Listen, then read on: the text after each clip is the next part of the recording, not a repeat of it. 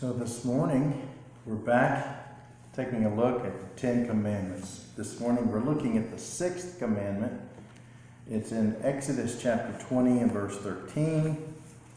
As we look here at the word of the Lord, Exodus chapter 20 and verse 13. And we begin today with the sixth commandment rather than the fifth, as I'm saving it as our text for Mother's Day. May the 14th. So the commandment to honor your father and your mother actually ties the two sections of the commandments together. And I'll explain that more on Mother's Day. But maybe you're wondering, what are the two sections of the commandments? Well, generally, the first section, commandments 1 through 4, deals with our relationship to God. And then the second section, Commandments 5 through 10, deals with our relationship to people. So you've got the vertical with God and the horizontal with one another. Um, Jesus even alludes to these two sections and he ties them together. At the first section is the great uh, commandment to love the Lord your God with all your heart, soul, mind, and strength those the first four commandments sum that sums up the first four commandments. And then the second greatest commandment, Jesus said, is to love your neighbor as yourself. And that relates to the commandments 5 through 10, the second set of the commandments. And so today, we're skipping number 5, though, and looking at number 6, which in Exodus 20, verse 13 says, You shall not murder. The King James Version says, Thou shalt not kill. However, not all killing is murder, so really the best word choice here is murder. Now, God is telling us very clearly here that murder is forbidden. So, why does God, why does He say it's forbidden? Why are we not to murder? Well, the first is probably simple. It's probably something you said as a parent. It's because I said so. because he's God and he can do, he can make the rules and he, this is his world and he sets everything up and he determines right and wrong. So that's number one because he said so. Number two is because it is a sin to murder. Number three, is because people are made in the image of God. That's a big reason why it's wrong. And then number four, because God is the giver of life and is the only one who has the right to take it away. So that's a fourth reason. So as we look at this commandment together today, and you listen hopefully, to what I have to say this morning. Uh, you might at some point feel helpless and hopeless as you realize you have broken this commandment. We all have, I'm telling you right now. Okay, I'm going to explain that in a minute. But there's good news for you. So I don't want you to lose hope and think that, oh man, I'm doomed. No, there's hope. There's forgiveness in and through the Lord Jesus Christ. So if you'll just kind of track with me through this as we walk through this verse, um, some of it might be uncomfortable, and it should be. Um, but we should never become comfortable with sin.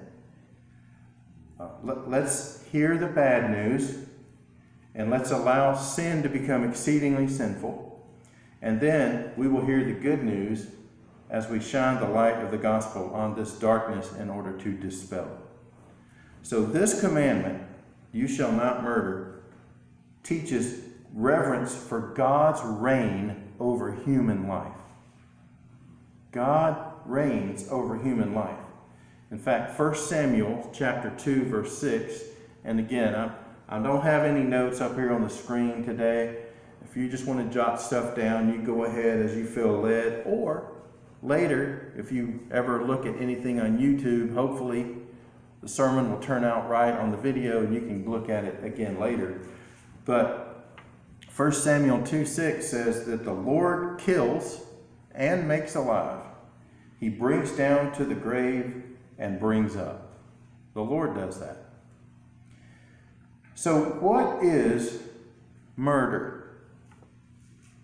Well, here's a definition for you murder is the deliberate, willful, wanton, malicious, malevolent taking of human life by another human being. That's murder. Now, how is murder performed? The first way, and the way we most think and think often of, is with the hands.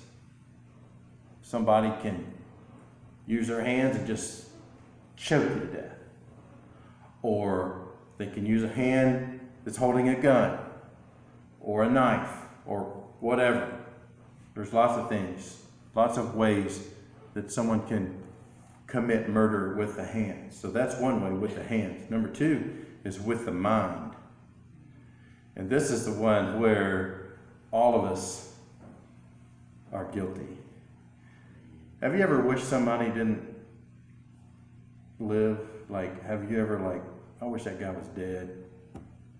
Or hated somebody to that degree that, man.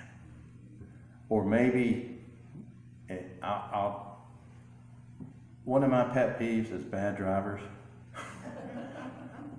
And sometimes I wish I just had a little button to just just blow them out of the way, you know. That's wrong. Um, so there's you can murder with your hands, but you can also murder with your mind. Maybe you'd call that mental murder. Uh, a lot of sins can there's you can you can commit sins often in three ways: in thought, word, and deed.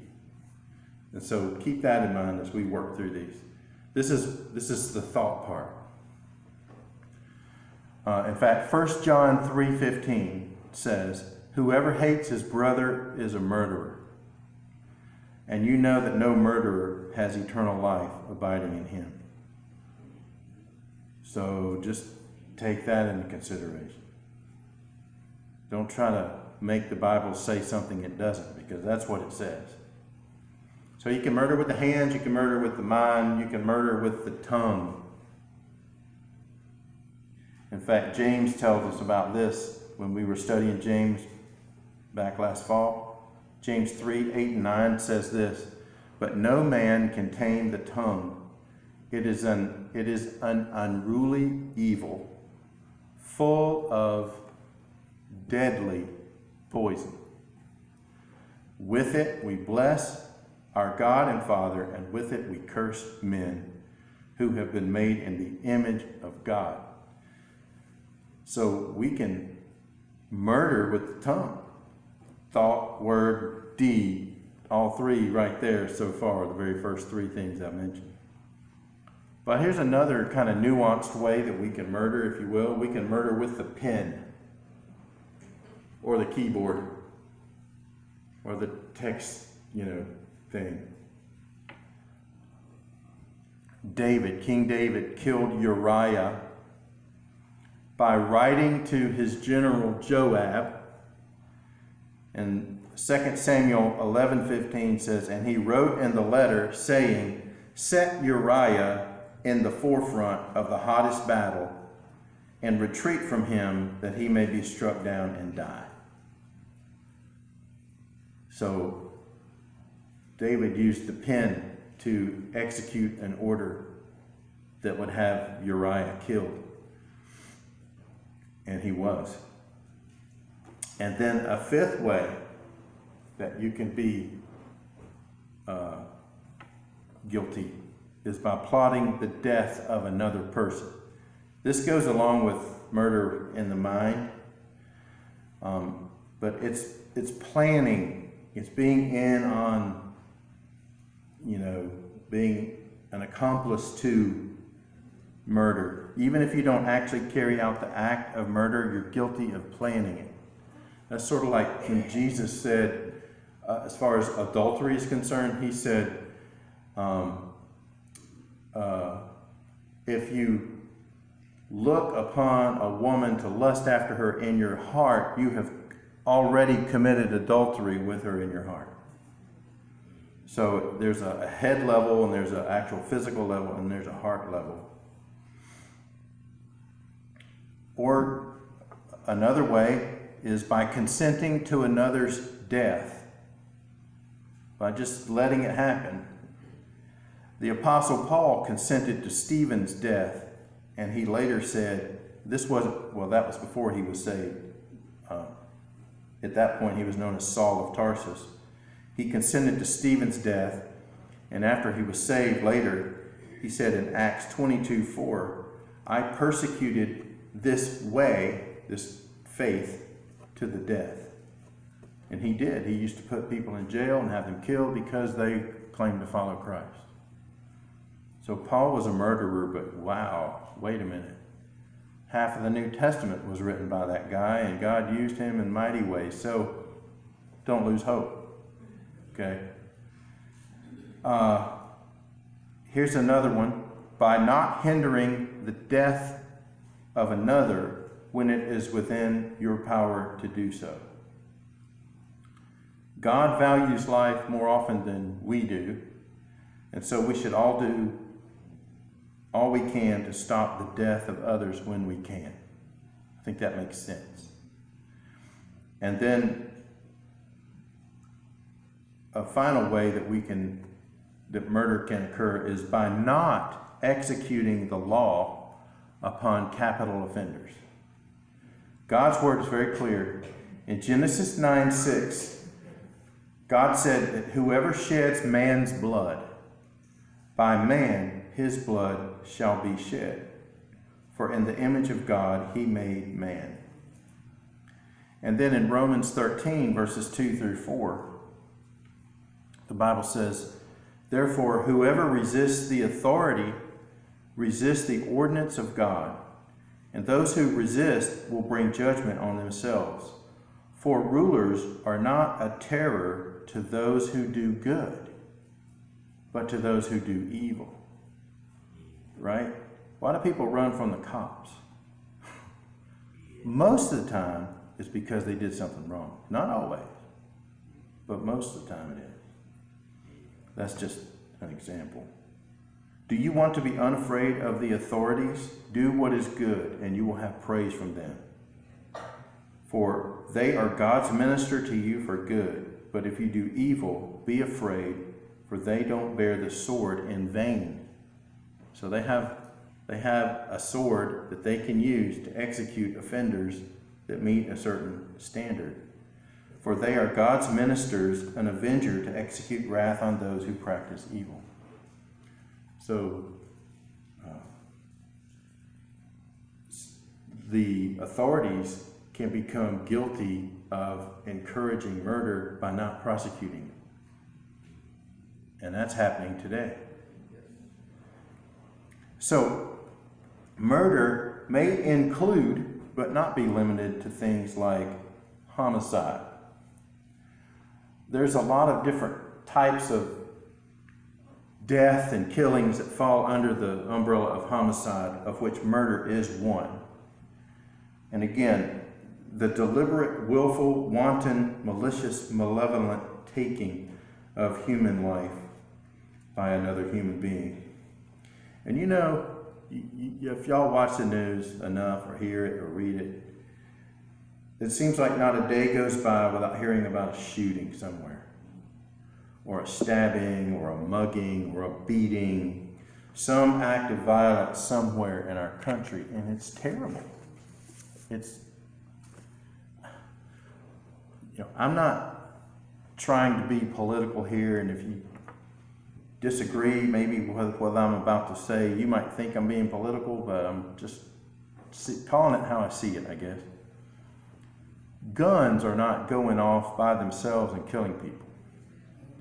Knives aren't coming out of people's pockets by themselves and killing people. Cars aren't deciding to start up on their own and run through crowds of people and kill them. It's the people wielding them as weapons who are committing the crimes. We hold people responsible, not weapons. It's like when whenever somebody's pit bull attacks someone in the neighborhood, they hold the, the dog owner responsible, not the pit bull, because he's just being a dog. Um, we hold people responsible. You know, all those things have multiple good uses. Guns can be used for good, knives can be used for good, cars and trucks, whatever, can be used for good, whatever. But when you put them in the hands of people with no regard for God or the sanctity of human life, you get human depravity on display, and that's what we have going on full bore in our country. You know, when kids grow up being taught that they have evolved from apes, don't be surprised when they act like it. When a biblical understanding of God is not taught, and kids are left on their own to find their way in life, you get a culture like we have today. When people are taught that religion is outmoded and is simply a way to control people, that it's a way to perpetuate a patriarchal system or to perpetuate racism or that is anti woman or anti homosexual or anti whatever, uh, the people who believe this is true are going to fight against it. But it isn't true. We are pro humanity. We love people. Doesn't matter who you are, what you are, where you come from. We're told to love people. Bible says even love our enemies. So we are pro humanity because we are pro God. We want the best for people, for our community, and for our country. We want people to thrive and excel and flourish. And the only way for this to happen is for people to believe in the God of the Bible, to trust in Him, and to obey Him. That's where it starts. That's the foundation. His purposes and his ways are for our good and his glory. When he says, You shall not murder, it's for the good of everybody. And it's for the glory of God. They will benefit us as we follow his commands. The reason our country is in the mess it's in is because so many have propagated the lie that God isn't real, or if he is, we would be confined to a life of drudgery and unhappiness if we lived according to his word. That's one of Satan's biggest lies. Is that happiness comes in having and doing what God forbids. Those of us who know God and who know God's word know that is a lie. Happiness comes from knowing and doing what God says. Look again, look at our country. Running from God, denying God, and redefining God is not working. I mean, it's working if you want to destroy the country. It works for that, but it's not working if you want to make a great nation.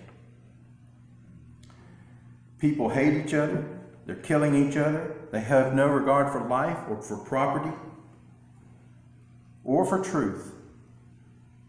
And it's amazing how extreme everything is today. I mean, 10 years ago, I thought things were bad then. But I never thought we'd be where we are today and see things like we do today. All the time, coming at it seems like 24 7. The assault on reality and truth is not making America a better place. That is not the way to the utopian society that so many claim they want. The only way to have utopia, which I would redefine as heaven on earth, is to turn back to God and His ways through the Lord Jesus Christ. That's how you get that. And I believe that the only reason America continues to exist right now is because of the Christians in this nation who are striving to be faithful to Him. I think our nation would crumble into anarchy if not for sensible, God fearing people who know what would happen if God completely took his hands off of our country. And aside from God's people trying to conserve what is good, God could not bless America and keep his reputation. So perhaps God, and, and, we're always wondering, God, what are you up to? Why are you letting this happen? But perhaps God will use this chaos that's going on in our country to cause many people to wake up and see that all of this has come upon us because we have disregarded God and turned to our own way to do what is right in our own eyes.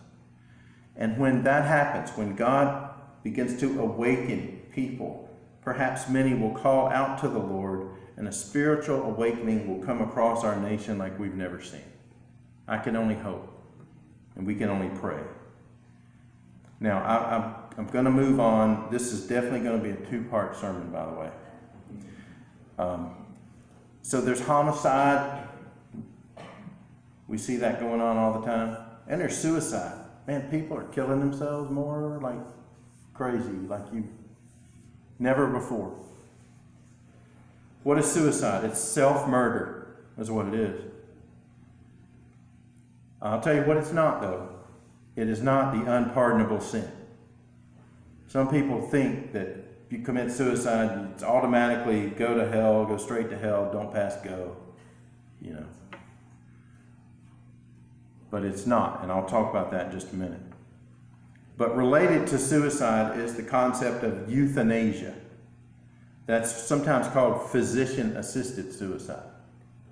Christians must, from the start, oppose wrong thinking which says that human beings have the right to decide the destiny of other human beings. We don't.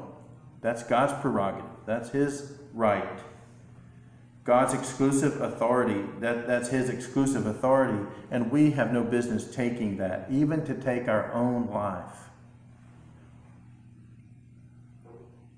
God alone reigns over human life. And if for some reason a Christian commits suicide, he's still saved. A truly saved person cannot lose their salvation. Now, certainly, there might be questions about the spiritual condition of the one who takes his own life. I get that. But I would encourage you to lean hard on Jesus, who keeps all who are his and loses none of them. No one can snatch them out of the Father's hand, according to Jesus. So there's homicide, there's suicide, there's genocide.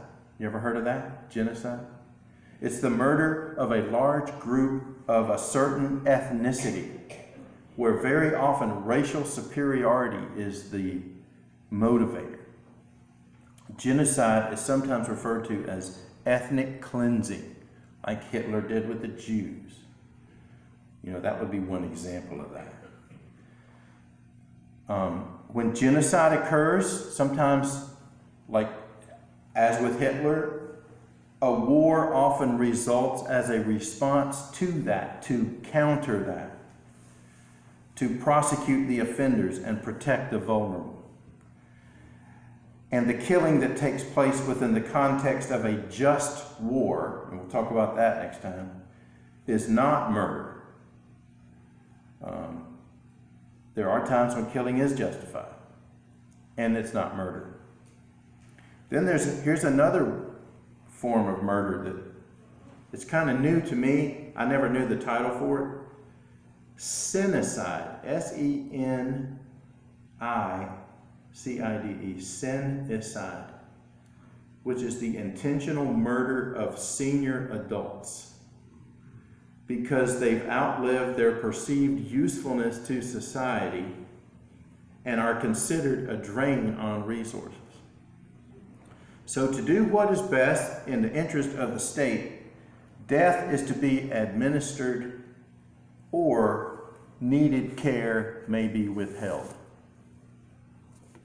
That's even being discussed today.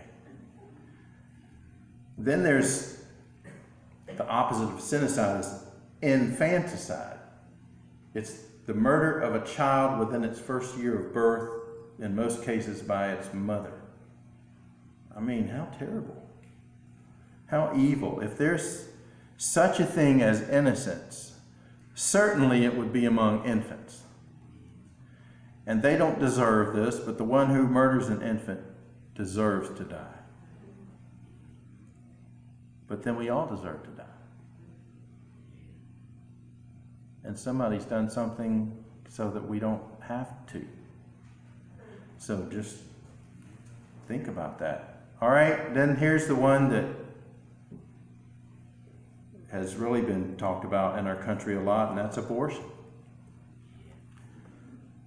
Again, what is it? It's the deliberate, willful, wanton, malicious, malevolent taking of a preborn's human's preborn human's life by another human being, whether it is the mother or a medical professional, whether by surgical procedure or pill. This is murder in the womb, and science is very clear that the emerging life in the womb begins at the union of the sperm and the ovum, which constitutes human life. Life begins at conception. The embryo, fetus, baby, child, teenager, adult are all simply different stages of human life. Where you are doesn't define your humanity and nor does when you are define your humanity. That one is either inside the womb or outside is what defines humanity. God defines life. God created the process of life development from the womb to the tomb. And in Exodus 21, verse 28, the Bible even talks about if a beast kills a man, it was to be stoned, and its flesh was not to be eaten. Now, if God would have a beast that killed a man stoned, though it had not the use of reason, because it's a beast, to restrain it, think how much more he's incensed with those who, against reason and conscience, murder preborn babies. There should be great lamentation over this. So plan your parenthood before you become one. Don't get the cart before the horse. Follow God's plan for marriage and family. Keep sexual relations within the bonds of the covenant of marriage. And one of the major reasons that this world is messed up has a lot to do with the misuse, abuse, and misunderstanding of what God's plan is for sexuality and marriage. And then don't forget, adoption is a wonderful option that is pictured in Scripture. Those of us who are saved, we've been adopted into God's family um, by faith in the Lord Jesus Christ. And I could do a, an entire sermon on the issue of abortion. I don't feel like I need to. Um, but for now, I want you to just keep listening and try to keep tracking with me because if you're feeling guilty about any of this, I still want you to know there's good news to come. So don't give up. Don't lose hope. Hang on. I'm not here to make you feel guilty, but that you will understand you actually are guilty and your only hope is the Lord Jesus Christ. So, homicide, suicide, genocide, senicide, abortion, how about poison? Every day we hear about the drug epidemic in our country. There are legitimate drugs, thank God, and drug makers whose drugs can be used for good. But sometimes people take them and use them illegitimately in a harmful way. That's not the fault of the drug maker or the doctor if they're legitimately uh, prescribed and dispensed. If these legitimate drugs are used illegitimately by the consumer, it's the fault of the drug taker, not the drug maker. But there are illegal and very dangerous drugs that are smuggled into our country across an open and unsecured border that originate from China and other countries that want to kill Americans. They want to weaken our country and ultimately destroy our nation. These drugs are laced with poison and are in and of themselves poison. They kill thousands of people every year. And these uh, those involved in drug trafficking in any form at all are guilty of murder. They are accomplices and they are complicit. But listen, along the same lines, we could make the case that someone who knowingly sells bad meat or food products that results in someone's death is complicit in murder. And again, I'm just going to throw some things out for you to consider. What about bartenders who just keep the drinks coming after knowing a patron is already drunk? And then the person goes out and dies. How about uh, an employer who jeopardizes the lives of employees and others through unsafe surroundings and working conditions? They should be held responsible. Well, a couple more, and then we'll be done. Attrition. Attrition. You say, what? What do you mean? I think with attrition, I mean psychological murder, a very slow death over time. Someone might say the words, You're killing me. You know, if you keep doing this, it's going to kill me. It's going to be the life of me. Just an example. For example, a young man comes home night after night drunk, and when his mother complains and tries to reason with him, he curses her out, rails at her, and just kills her little by little, wearing her down mentally over time, day after day, week after week, month after month, year after year. He's slowly driving a dagger into her heart. And she dies. Tell me that's not murder. And then there's inaction. This is the last one I want to share with you this morning. Inaction, by not doing what you should be doing to deter and dissuade murderers. In fact, Romans 13 4, we read it earlier. Um, it's funny how when you have a large print Bible, there's more pages to turn. All right, Romans 13 4. For he is God's minister to you for good, but if you do evil, be afraid, for he does not bear the sword in vain. For he is God's minister, an avenger to execute wrath on him who practices evil. You know, where there is no fear of punishment, crime is encouraged. We are seeing this now all across our country where progressive district attorneys are letting criminals go. They're not locking them up, they're not putting them in jail. They're not going to trial. And the charges are being dropped because the criminals are really the victims. They're the victims of the system. And that's why they are looting and stealing and murdering. This is justice for them over the system that has not worked for them. And that's how these progressive district attorneys view this. But by not punishing evildoers, public security and peace will not be preserved. This is what's happening now. It should not matter who you are. If you break the law, you need to be held responsible. Equal justice under the law is what there should be. I know it's not always, but that's what we should go for. That's what we should aim for.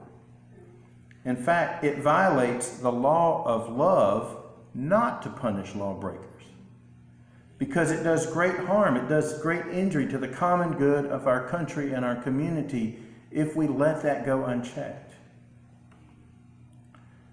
And so, let me close with this. If you have broken this commandment about murder, whether it's in thought, word, or deed, there's hope for you. And that hope is not based on anything that you have done or might do it's solely based upon what the Lord Jesus Christ has done for sinners. We broke God's law and Jesus paid our fine. God can forgive us on the basis of what Jesus did for us on the cross and by rising from the dead. That payment for your fine only gets applied, though, to your life when you trust the Lord Jesus with all your heart. Look unto him, the Bible says, and be saved. If you're guilty of murder, whatever form it takes, whether it be by the hands, with the mind, with the tongue, with the pen, by plotting, consenting, any of those things, every murderer who repents and trusts in the Lord Jesus will be forgiven. That is true. That is what the Bible says. There will likely be temporal punishment on this side of heaven because you've broken laws. But eternal punishment will be done away with and will be replaced by eternal life for all who trust in Jesus as their Lord and Savior. That is great news. King David took the life of Uriah, Bathsheba's husband. God's grace forgave him. Moses killed an Egyptian God forgave him and used him mightily. Saul of Tarsus held the clothing of men who stoned Stephen to death. He and Stephen was the first Christian martyr. And he had Christians persecuted to their death. And yet the blood of Jesus was sufficient enough to forgive and save Paul. It's sufficient for you too. His blood as we sing in that old hymn, His blood can make the foulest clean. His blood avails for me. So trust in the Lord Jesus Christ today and let Him take the guilt of this from you. So let's pray. Father God, we thank you for your word. We thank you for the hope we have in Jesus Christ. Lord, he, your word says that no murderer has eternal life, no thief, no idolater, no adulterer. And your word goes on. But then it says, and such were some of you, but you were washed, you were transformed, you were saved. Lord, I pray that today, if there's anyone here who has felt hopeless and destitute, if you will, without hope in this life, that they would come and trust in the Lord Jesus Christ, who will completely revolutionize and change their life. May they trust in Him. May they trust in you today. And Lord, help us to go out from this place when we leave soon and be salt and light and be people on mission for you. In Jesus' name, amen. Amen.